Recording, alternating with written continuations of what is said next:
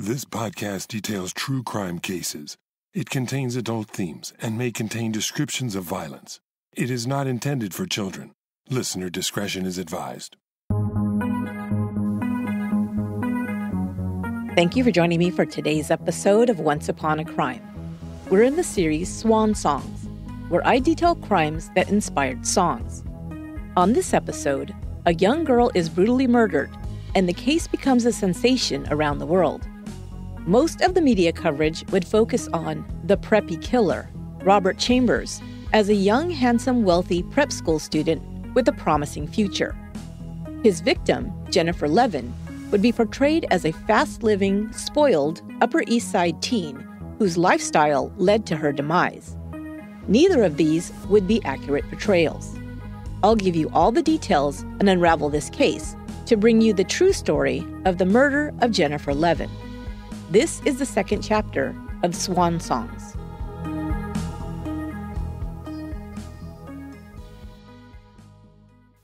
The Killers was a rock band that was formed in 2001 in Las Vegas, Nevada. Brandon Flowers, who provided lead vocals and played keyboards and bass, teamed up with Dave Keuning, who became the Killers' lead guitarist. Soon, bassist Mark Stoermer and drummer Ronnie Vannucci joined the band. They played venues around Las Vegas, bringing a unique British pop indie rock sound, and soon built a following. The Killers would be compared to throwback bands like The Cure, New Order, and Duran Duran. They caught the attention of Green Day's former manager, Jeff Saltzman, but it wasn't until an A&R representative from the UK heard their demo that they were offered a recording contract in 2003. They signed with the British label Lizard King Records and released their debut album titled Hot Fuss in 2004. Hot Fuss was a huge success, reaching number one in the UK in January 2005. It then crossed over into the US charts, reaching a peak position of number seven. The band went on to become a success worldwide. But there were two songs released on Hot Fuss inspired by an American crime that two decades earlier rocked New York City and then the nation. In the single Midnight Show, the song begins with a boy singing about a girl in a short skirt and his feelings of jealousy. He hints at having killed her, saying he, quote, took her breath away beneath the stars, unquote, and then sings about keeping a secret. In another cut on the album, the girl is named. The song is titled Jenny Was a Friend of Mine, and the lyrics begin We took a walk that night, but it wasn't the same. We had a fight on the promenade out in the rain. She said that she loved me, but she had somewhere to go. She couldn't scream while I held her close. As the song continues, we come to understand that the boy is being questioned by the police about the murder of a girl. He provides an alibi saying, Jenny was a friend of mine. There was no motive for this crime. Jenny was a friend of mine. The inspiration for the song Brandon Flowers and Mark Stoermer wrote came from the murder of 18 year old Jennifer Levin and her accused killer's statements to the police. He was questioned hours after the girl's body was found, battered and strangled to death in New York's Central Park. Indeed, the accused killer, Robert Chambers, and Jennifer Levin were acquainted and had even casually dated one another earlier that year. They were part of a circle of teens and young adults who lived and or socialized in the area of the Upper West Side of Manhattan. Both Jennifer and Robert had attended New York prep schools but neither were raised in homes with wealthy society set parents, like many of their friends and acquaintances. While it was Jennifer's life that would be cut short so cruelly and unexpectedly, it was her reputation that would be dragged through the mud during the investigation into her death and the subsequent trial. Robert Chambers, at first, would have many supporters who rallied behind him, despite the fact that his past was quite checkered. His background would belie the moniker given to him by the media of the preppy killer. How did this happen?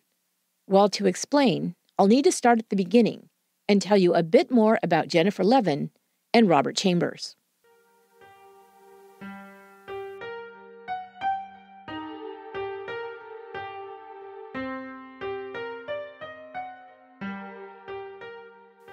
Jennifer Dawn Levin was born on May 21, 1968, in Nassau County, New York. located on the north shore of Long Island. Her parents, Stephen and Ellen Levin, were divorced. Stephen Levin was a realtor in Soho. He had remarried and moved into a loft in Soho before it became the upscale neighborhood it is now. Soho, a neighborhood located in lower Manhattan, was starting to undergo a makeover in the 1980s, but it was still affordable on a middle to upper middle class income and was located close to many good New York prep schools. Ellen Levin lived in the Tribeca neighborhood, just blocks away from her ex husband. Jennifer and her younger sister Danielle had easy access to both parents.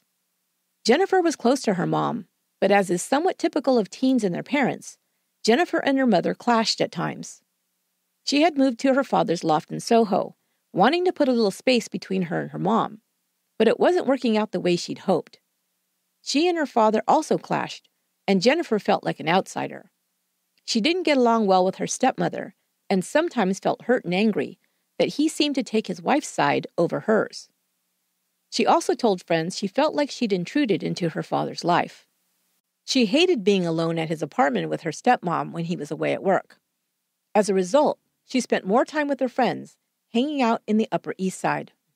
Jennifer was attending a small private school, Baldwin, on West 74th Street, across the city from where she lived. This felt like a different world than where she'd grown up. She was a suburban girl from Long Island, and now she was running with wealthy kids who'd been raised in Manhattan and lived a life of privilege.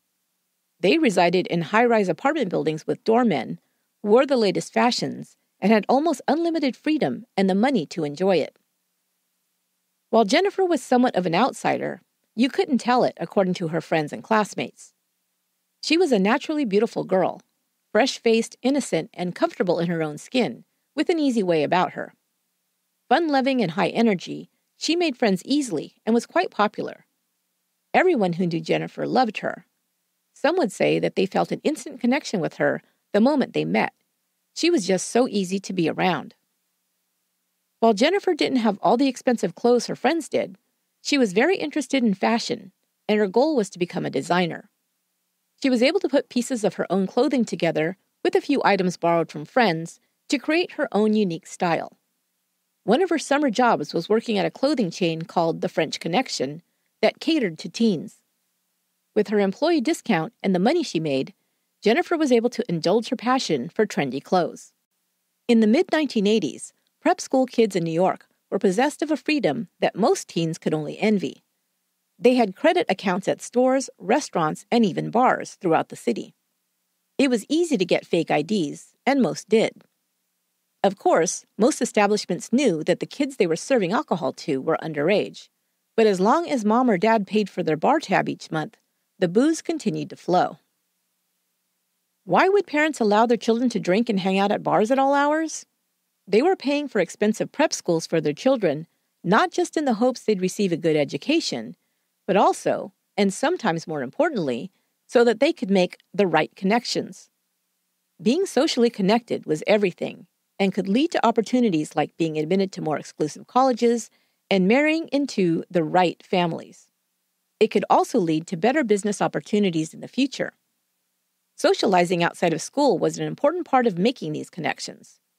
To facilitate this, some parents looked the other way, or even actively encouraged their teens to hang out at trendy bars and clubs that catered almost exclusively to preppies, or prep school students. By the time she was 16 years old, Jennifer had started spending most of her weekends and summers hanging out in these Upper East Side clubs with her friends. She, like most of her friends, had a fake ID. One of the most popular hangout spots for prep school kids was Dorrian's Red Hand, a bar located at 2nd Avenue and 84th Street. Jennifer had been dating a boy named Brock Pernice off and on since her freshman year of high school. They had strong feelings for one another, but also openly dated other people. They were young and not ready to commit to an exclusive relationship, although that was a plan they had for the future. Jennifer spent the summer of 1985 in the Hamptons, working at a boutique where she'd secured a job. The Hamptons was where a lot of the wealthier kids had vacation homes or whose parents rented homes for the summer. It was an extension of the social scene. Anybody who was anybody summered in the Hamptons. By the fall, Jennifer had returned to the city to begin her senior year. Also that fall, Jennifer became a regular at Dorrian's bar. The following winter, on Valentine's Day, Jennifer Levin was introduced to Robert Chambers.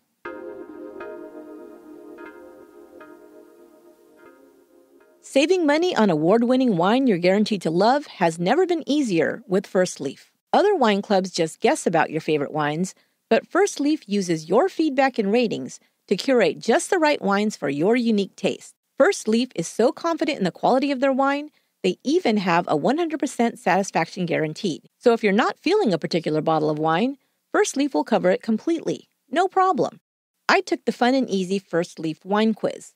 To be honest, I was curious to find out my exact wine drinking preferences. I got to answer questions like the sweetness level of wine I prefer, what styles I like, etc so First Leaf could learn all about what I like. I tend to buy more white wines than reds, but I've liked some red wines I've had in the past a lot. The problem is, I forgot what they were. I told First Leaf I'd also like some reds in my introductory six pack of wine, and they sent me some really great bottles to try. All for just $29.95 for my first shipment. These wines are valued at at least $20 per bottle, so that's a great deal. Then, when your wines arrive, you taste them and rate them online. First Leaf takes your ratings and selects more wines personally selected for you to send in your next shipment. That's really cool. Right now, if you sign up with my link, you'll get an exclusive intro offer six bottles of wine for only $29.95 plus free shipping. Just go to tryfirstleaf.com slash once. That's six bottles of wine plus free shipping at tryfirstleaf.com slash once. I'd also like to thank Endurance Warranty for sponsoring today's show. Endurance is a direct provider of vehicle protection plans that saves drivers thousands of dollars on auto repairs and is one of the largest vehicle protection companies in the United States. Think about the last time you had a breakdown. I can remember mine well. What a nightmare. Not only the inconvenience of getting your car towed, finding a garage, negotiating repairs, but also the high price of car repair bills. Yuck. These kind of hassles are what you can avoid with an Endurance Vehicle Protection Plan. With Endurance, you can drive confidently. With Endurance and Endurance Elite membership, when a breakdown happens, they'll handle the towing and pay the mechanic directly. Endurance's auto advocates will help you with everything from negotiating the best repair prices to finding you a hotel room if you're away from home.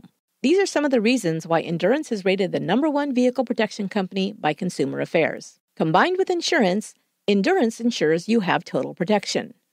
For a limited time, Endurance Elite membership is included with every vehicle protection plan and includes 24 7 roadside assistance, a personal concierge, tire repair, and even ID theft recovery and replacement. Insurance plus endurance equals total protection. And right now, if you go to endurancenow.com slash once, you can get $300 off an endurance vehicle protection plan. That's endurancenow.com slash once. For more information about Endurance's vehicle protection plans, visit endurancewarranty.com.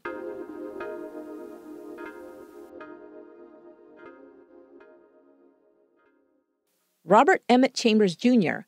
was born September 25, 1966. He was the only child of Robert Sr., an accountant, and Phyllis Chambers, an Irish immigrant who worked as a private nurse for some of New York's wealthy families. She moved to New York in the 1950s and met her husband. They lived in Queens, and Phyllis started working double shifts after her son Robert was born. She was determined to give him the best of everything. She wanted him to have every opportunity possible to live the American dream that she herself strived for. Through hard work and determination, the Chambers were able to move to a small apartment located on New York City's Park Avenue in 1975. When Robert was 14, they moved into a brownstone apartment located at 11 East 90th Street. Robert had already been attending a private school since the age of four. Robert Sr. and Phyllis Chambers were strict Catholics. They enrolled their son in St. David's, a private Catholic school located on Manhattan's East Side. Being a St. David's student would give Robert Jr. a better shot at being accepted to one of the city's prestigious private secondary schools. Robert, or Rob as he was called by family and friends, did well at St. David's. His grades were decent, if not stellar, but he made up for it with his athletic abilities. He was one of St. David's top athletes. He would grow to be six foot four inches tall and powerfully built. He would also be described by many as handsome, with dark hair, blue eyes, and a dimpled chin. Teachers and students liked Rob and would later describe him as polite and affable. The Chambers family attended St. Thomas More Roman Catholic Church on East 89th Street. Phyllis Chambers became active in the congregation, and Rob served as an altar boy. His mother made important connections with high ranking clergy members not only through church activities, but also because she worked as a private nurse to some of its more prominent members. When Rob Chambers received the sacrament of confirmation in the church, his sponsor was Theodore McCarrick, who would later become Archbishop of Newark and then Cardinal in 2001. But more on Cardinal McCarrick later. Rob Chambers had been somewhat quiet and shy during his elementary school years, but he came out of his shell beginning in his junior high years. At around the age of 14, he became more social, hanging out with other prep school kids at a teen disco in the Upper East Side. He may have also become less shy at that time because it was then that he began drinking alcohol. His parents were proud of their son when he was accepted at Choate, a prestigious private college prep school in Connecticut. He began his first semester at Choate in the fall of 1980. But at the same time, his family was falling apart. His mother and father had been having problems for some time. His father was a drinker who was rarely home. His mother worked nights and sometimes picked up extra shifts during the day. Rob was left home alone much of the time which made it easy to wander around the city hanging out with friends. Beginning in junior high school, one of Rob's favorite places to pass the time was Central Park's Sheep Meadow. He'd discovered it was a good place to score drugs. He had started smoking pot at the age of 14, although alcohol was still his drug of choice. As Rob started drinking and partying more, he focused less on school, sometimes skipping classes altogether. He fell behind in school and his grades slipped. He'd grown into a good looking boy who was popular with the girls. At this time, it also became apparent that Rob was more interested in dating younger girls. While in high school, he dated girls who were in junior high. When he became college aged, most of his girlfriends still attended high school. Rob always had a girlfriend, but was secretive about them. He often didn't want them to come around where he was hanging out with his friends, and he ignored them when they were around. His girlfriends were often irritated with him, and he didn't seem to care much until they broke up with him. Then he would become desperate to win them back. He failed many of his classes during his first year at Choate, and the school declined to ask him back for his sophomore year. Instead, he entered the all boys school, Browning College Prep, in New York City. But his attendance and grades didn't improve. If anything, he attended school less now that he was back on his home turf. Friends said that he was high most of the time after returning to the city in the fall. He skipped school and smoked pot in the park during the day and drank in the bars at night. Like Jennifer Levin, Rob had also found it easy to score a fake ID and began frequenting places like Studio 54 and other trendy nightclubs. Robert and some of his other classmates stayed out until all hours of the morning at these clubs. He didn't worry about coming home drunk or even at all, since his mother was away all night in patients' homes. After just one semester at Browning, Rob was expelled, but not simply for poor grades.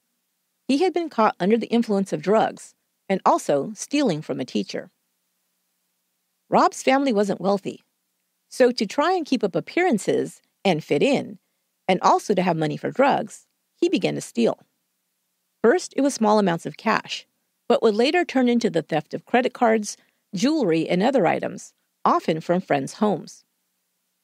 He was enrolled in York Prep for the second semester of his sophomore year. Even though his parents were doing everything they could to keep Rob in good schools, he never appreciated it and continued to shirk his studies. Once again, he flunked out of most of his classes and continued drugging and stealing. By 1983, he'd completely broken ties with his more studious and responsible friends and was associating exclusively with other partiers. His oldest and closest friend, John Tuenko, stopped hanging out with him. He later said that Rob had changed and he could no longer stand by and watch his quote self destructive lifestyle. Unquote. The summer after his sophomore year, his mother found him a job working as a messenger for a law firm, most likely trying to keep him out of trouble. By his junior year of high school, his classmates and friends were all wealthy, well connected, and attending the best schools. Rob Chambers had squandered his opportunities, and his self esteem began to crumble. The worse he felt about himself, the more he drank. He also became addicted to cocaine. Rob didn't like the social scene. He was jealous of his wealthy friends, but also wanted to be accepted by them. The same type of conundrum existed at home. He felt pressured by his mother to succeed and hated it, but also couldn't stand the thought of disappointing her. During his senior year, while his classmates were throwing private parties at ritzy new nightclubs and hotels, Rob began hanging out with a tougher crowd. He was straddling two worlds. One was his life with his preppy and privileged friends, and the other was hanging out with druggies and delinquents in Central Park. Somehow, Rob was able to graduate high school and was accepted at the College of Basic Studies at Boston University. The program was set up to accommodate students who had struggled in high school. But after only one semester, he was kicked out for academic reasons. Friends of his would later say that he did almost no schoolwork, but simply used this college opportunity as a way to party in Boston. He returned to New York in 1985 because he preferred younger girls, he started dating high school girls. These girlfriends seemed impressed enough to be dating a college boy that they didn't look closely at his history of failure. Rob Chambers became a regular at Dorrian's bar, and he drank there most nights. He'd been in school with Michael Dorrian, the owner Jack's son. Rob was close to the family, and Jack Dorrian would later become one of his most faithful supporters after his arrest for murder. Rob Chambers and Jennifer Levin would soon be on a collision course toward one another, but long before that fateful night of August 26, 1986, Rob would already be deeply immersed in a life of crime.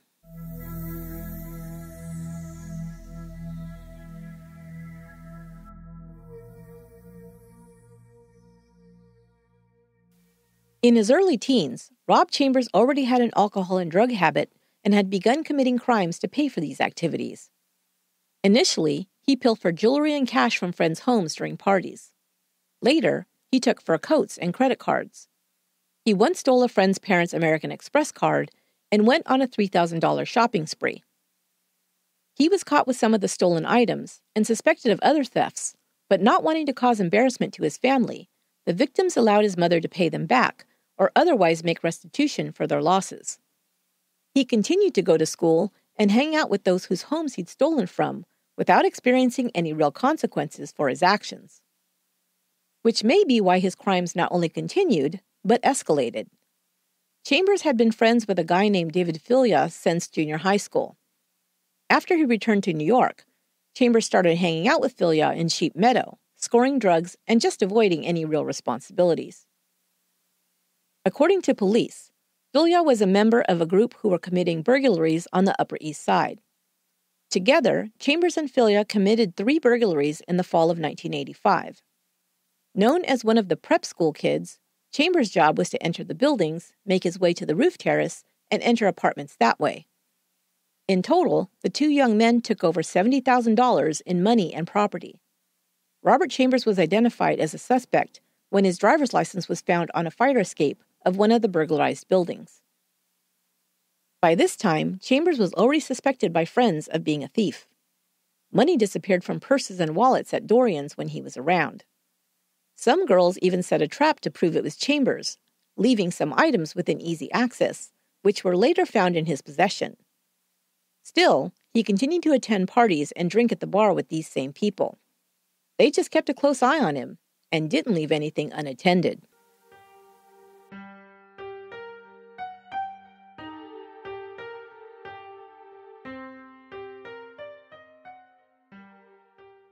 Jennifer Levin had already seen the tall, handsome guy named Robert Chambers several times at Dorrian's. She told friends she thought he was gorgeous and wanted to meet him. Her friend was throwing a combination birthday and Valentine's Day party in February of 1986, and Jennifer asked her to invite him. Her friend wasn't too keen on the idea, since Chambers was known to steal from homes during parties, but she finally agreed to invite him at Jennifer's insistence. Chambers had been dating a senior at Chapin an Upper East Side all girls school. They had been together off and on for two years, but she had broken up with him earlier that year and started dating someone else. According to friends, Chambers was crushed, but tried to act nonchalant when he saw her with her new boyfriend, who was popular with the prep school crowd. Jennifer and Chambers were introduced at the party, but he didn't show too much interest in the pretty freshman until later that summer. Before that happened, he would be sent out of town to attend rehab.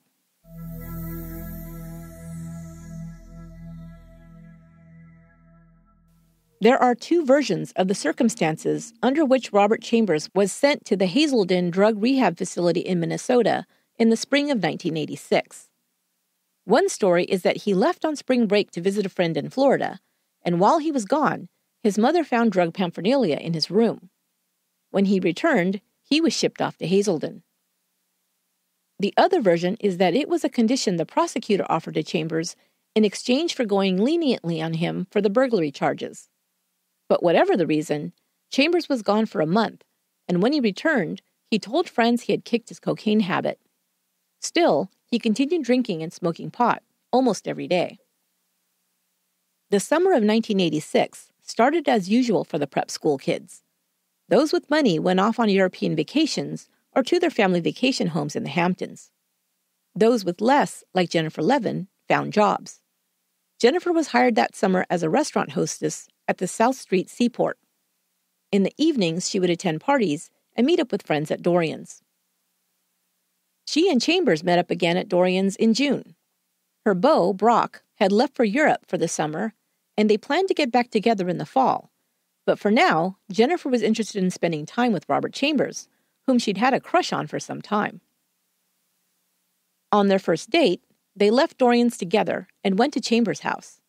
She was there until the early morning, but told friends that they had not had sex, but merely spent time talking and getting to know each other.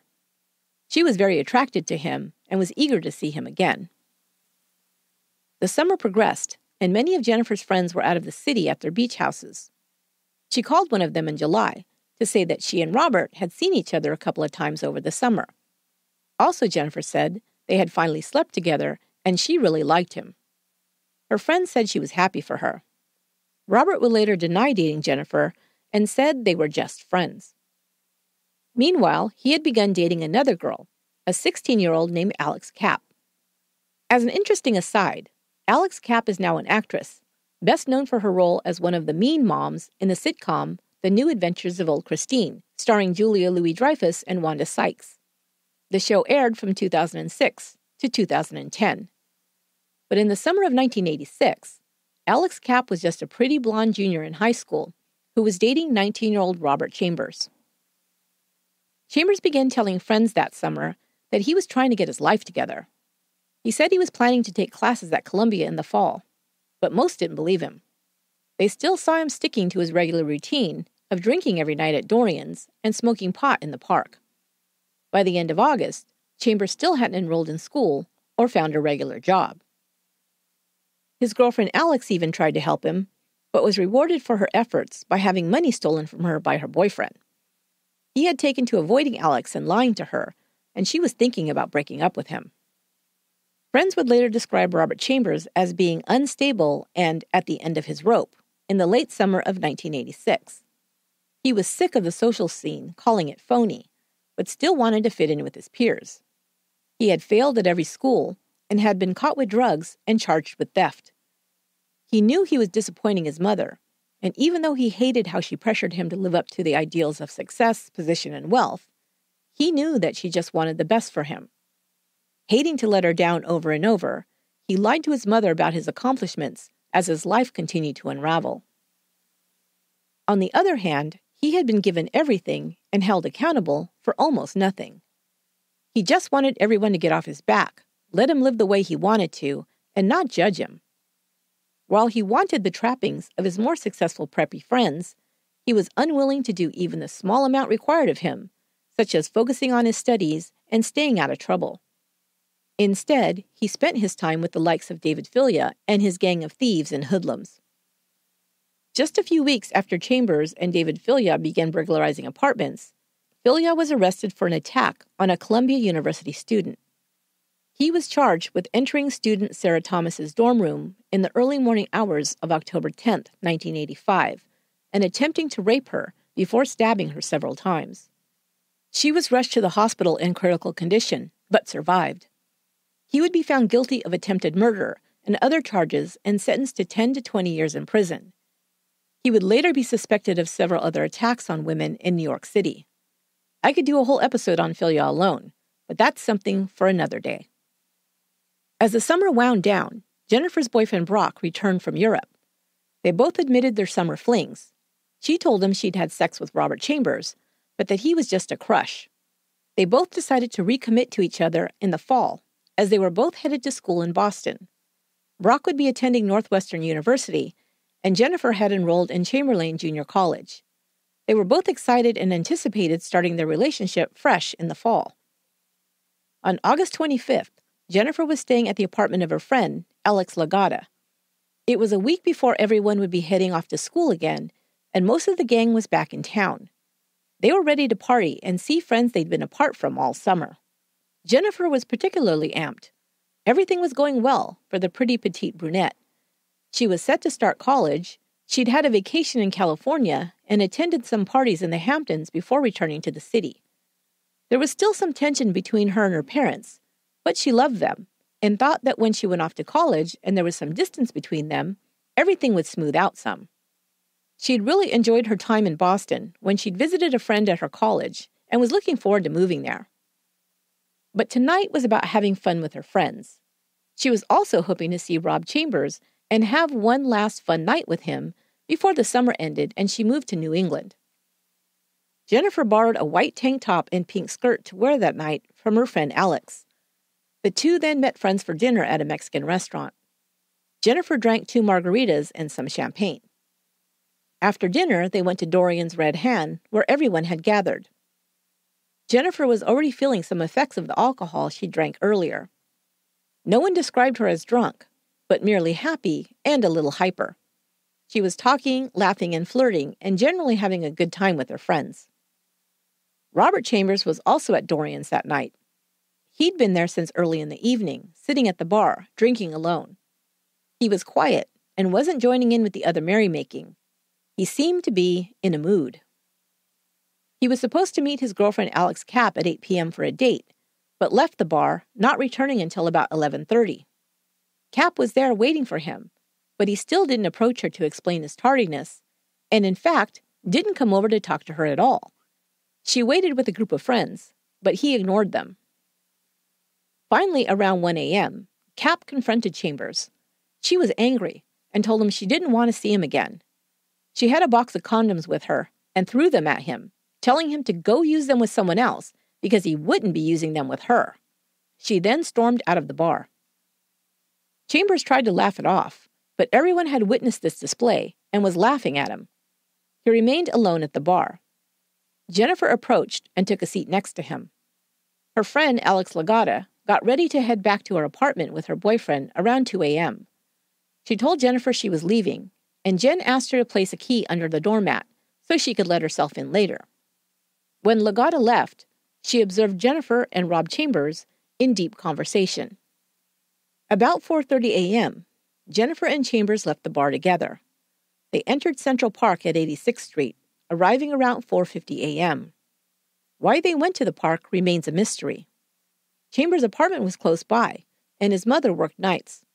He could have taken her there instead of the grassy area adjacent to the Metropolitan Museum of Art.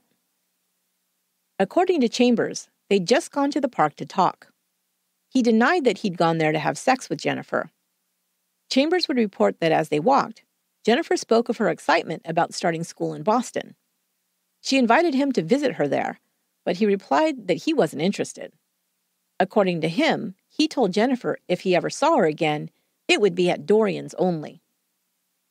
Upon hearing this, Chambers later told police, Jennifer became angry and flew at him in a rage, scratching his face. He walked away from her, but instead of leaving, he said he sat down on the grass a little way off from where he'd left her. He said that Jennifer came over to him and began to initiate sex. He would later describe the following version of events in detail on videotape during his police interview. Jennifer had taken off her underwear and, while standing behind him, tied them loosely around his hands that were behind his back. She then pushed him to the ground, onto his back, straddling him with her back to him, and undid his shirt and pants. She began to masturbate him, and he told her to stop. She wouldn't let go, Chambers said, and started to grab him roughly, hurting him. He said he reacted by freeing his hand and, with his left arm, pulled her back by the neck, flipping her over him. She fell to the ground and stopped moving. He could see she was unconscious. Chambers said he tried to rouse her, but she didn't move. He estimated this had occurred around 5:30 a.m.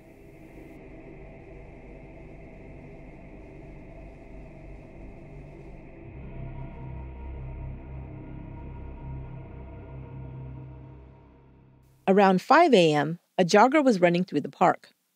He saw the couple together under a tree in the grass and assumed they were having sex. When he passed by again on his way back, around 20 minutes later, he heard someone cry out in what sounded like pain. The man was a doctor and called out, Are you all right? to see if anyone needed assistance. Someone called back that everything was okay. He continued on. He later joked about this to another jogger who also said he'd observed the couple together that morning. It was now the morning of August 26th. At about 6 a.m., a cyclist named Pat Riley was riding through Central Park and noticed a body lying under a tree. As she approached, she saw it was a girl. Her blouse had been pushed up by her neck, and her skirt was also hiked up. Pat Riley rode to the nearest payphone and called 911. She returned to the girl's body and remained with her until the emergency vehicles arrived. They quickly determined that the girl was dead, and investigators were called to the scene.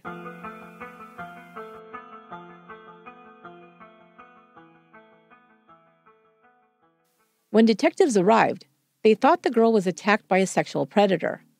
There was heavy bruising and scratches all over her body and severe bruising on her neck. They saw tan lines around her fingers and thought she must have also been robbed of her jewelry. The pockets of her denim jacket were searched for identification, but Jennifer only had her fake ID on her. Luckily, there was also a key card for Alex Lagada's apartment building. They took a photo of the deceased girl and showed it to the building's doorman. He recognized her as the girl staying with Lagada, and she was finally identified as Jennifer Levin. Her parents were contacted with the terrible news later that morning.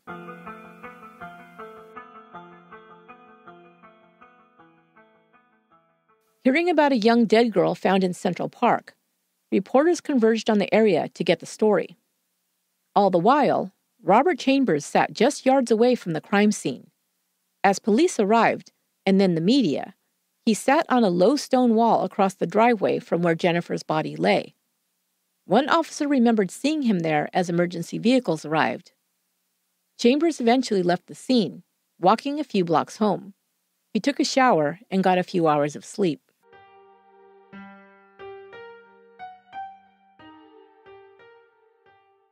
Robert Chambers was soon identified as the last person seen with Jennifer Levin. Alex Lagada even called Chambers and asked where he'd last seen Jennifer. He told her they had not left Dorrian's together, although several people had witnessed this. Chambers said she'd left alone, telling him she was going to Brock's apartment. Lagada learned that Brock wasn't even in the city that weekend and knew that Chambers was lying. About 2 p.m., police arrived to question Robert Chambers. The first thing they noticed were long scratches on both sides of his face. When asked about them, he said a cat had scratched him. They took him into the police station to question him further. They would later find more scratches on his chest and a small injury to his right hand. He remained at the station and was questioned on videotape until about 10 p.m. when his attorney arrived. He finally made a statement admitting to killing Jennifer Levin, but said it but said it was an accident. He had simply been defending himself when she attacked him. He'd only been trying to get her off him when she was hurt.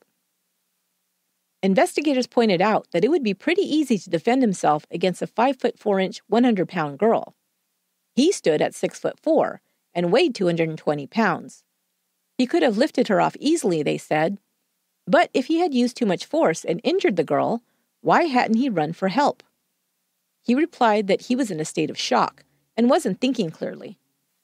An autopsy would determine that the extent of Jennifer's injuries could not be explained by a chokehold from behind. Bruises were found on her throat, and she had suffered internal injuries. Bite marks were also found on her body. The coroner concluded that Jennifer most likely had been subjected to manual strangulation for at least 20 seconds before she died.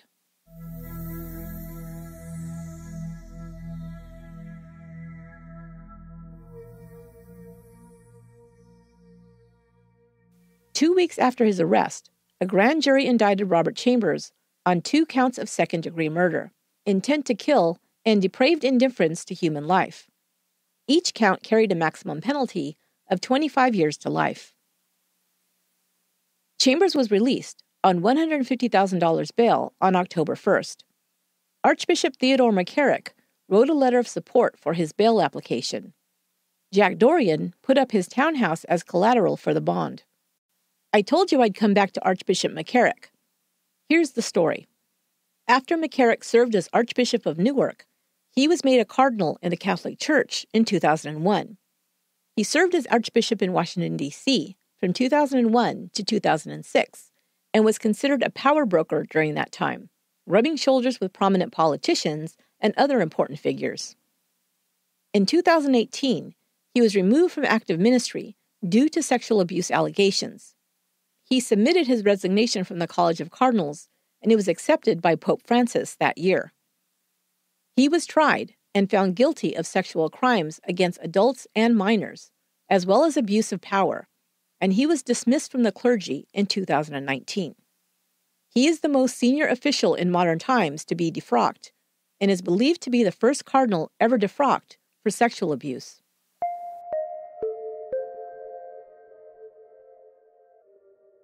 Back to Robert Chambers. After he was released on bail, he was required to meet daily with Monsignor Thomas Leonard and refrain from alcohol and drugs. While out on bail awaiting his trial, Chambers was videotaped at a party. In the video, he is seen surrounded by girls in lingerie and mugging for the camera with a Barbie doll. In the video, he appears to be mocking Jennifer Levin's death by twisting the head off of the doll and then saying, Oops, I think I killed her. There was a media uproar but the tape did not become public until after his trial had ended. Chambers' trial lasted three months, with the media covering every detail of the Preppy murder. The defendant was portrayed as a handsome prep school graduate with an elite pedigree, while Jennifer was accused of being a girl of loose morals who lived a risky lifestyle. Her name was dragged through the mud, and the prosecutor presented her past sexual history in detail for the jury. While shameful and disgusting to Jennifer's family and friends, the victim blaming by the defense was the only card they had to play. Her death was clearly shown not to be an accident, as Chambers continued to claim, but a prolonged and vicious attack. Prosecutors contended that Chambers had been drunk and high when he killed Levin. They theorized that he had attacked her in a drunken rage after he was unable to perform sexually. Her autopsy would show that Jennifer had only a very small amount of alcohol in her blood at the time of her death and had ingested no drugs. After nine days of deliberation, the jury was deadlocked. They were unable to come to a decision as to whether the prosecution had proved that the killing was premeditated. A plea bargain was then presented to Chambers. He was allowed to plead guilty to the lesser charge of manslaughter in the first degree and one count of guilty for the burglary charges that were still pending against him. In exchange, he would serve between 5 and 15 years in prison. He took the plea deal.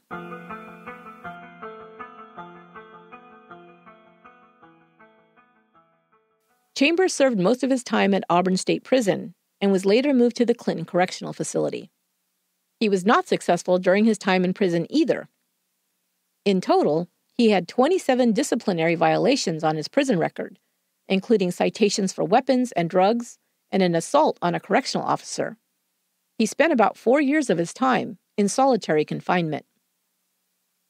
Because of his prison record, he had to serve the maximum time, 15 years, before being released. He walked out of prison on February 14, 2003. But his troubles with the law continued. A year after his release, he was arrested for heroin possession and driving with a suspended license. He pled guilty and was sentenced to 100 days in jail. One of the girls in the lingerie video was named Shawn Kovell. She had begun dating Chambers a month after his arrest and waited for him until he was released from prison. They moved to Georgia, where a friend of Kovell's lived, and Chambers got a job at a dye factory. They were doing well there, but when Kovell's mother died of cancer, they returned to New York to take over her rent stabilized apartment in Midtown Manhattan. Back in Manhattan, Robert fell into old habits, and on October 22, 2007, he was arrested in his 17th floor apartment. Neighbors in the building had complained of drug dealing taking place out of Chambers and Kovell's apartment. A drug sting took place, and Chambers was caught selling undercover officers $2,800 worth of heroin before he was arrested. He was also charged with resisting arrest and assault on an officer. Photos of his arrest show the 41 year old looking dirty and disheveled. Shawn Kovell, age 39, was also arrested. She would serve 18 months in a drug rehab facility and then placed on probation. Robert Chambers was charged with three counts of selling a controlled substance in the first degree, three counts of selling a controlled substance in the second degree, and one count of resisting arrest. He was found guilty and sentenced to 19 years in prison. His earliest release date is 2024.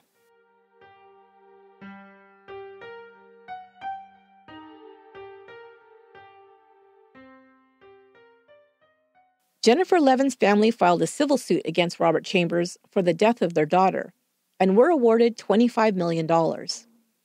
Chambers is required to hand over 10% of any money he earns to the Levins for the rest of his life.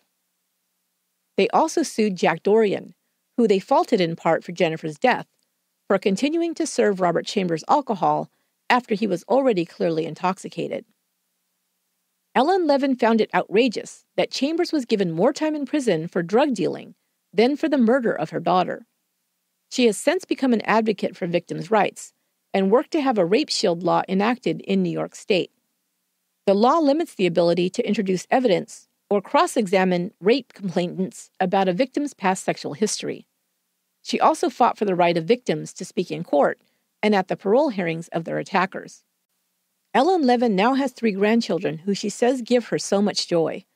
But she also says, quote, there's always going to be a missing piece, and that's Jennifer, unquote.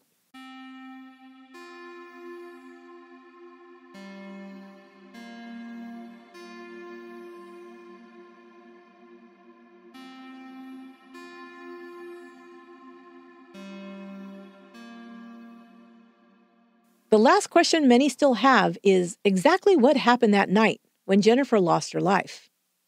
I'm a believer in the adage in every lie, there's always a little truth. I believe Robert Chambers' account when he said that they were talking in the park. Jennifer, he said, was excited about starting college in Boston in the fall. We also know from Jennifer's friends that she was hoping to have one last fling with her crush that night before moving on to the next phase of her life. I believe that Chambers saw a beautiful girl with her whole life ahead of her and was jealous. He must have known that, like him, she did not come from a wealthy family, but unlike him, she'd been successful at navigating the prep school scene. She had lots of friends who genuinely liked her. She had graduated from a good school and was now heading off to college and was excited about her future. Chambers had been telling himself for years that the reason he had not succeeded was because his wealthy friends had all the advantages and he was an outsider. He made excuses for himself instead of admitting that he had wasted all the opportunities his mother had worked so hard to provide him. Jennifer was an example of all that could have been. She had made the most of her opportunities and had been rewarded for it. All he could see was a life of failure and mediocrity. In that moment, I can imagine him becoming enraged and losing control. He was in control of nothing in his own life, but he had complete power and control over this girl, and he used her to vent his anger and frustration about his own wasted life. It just happened to be Jennifer Levin who would pay with her life for something that was in no way her fault. It was a tragedy that she trusted Robert Chambers and never suspected that her life was in danger on that early morning in August 1986.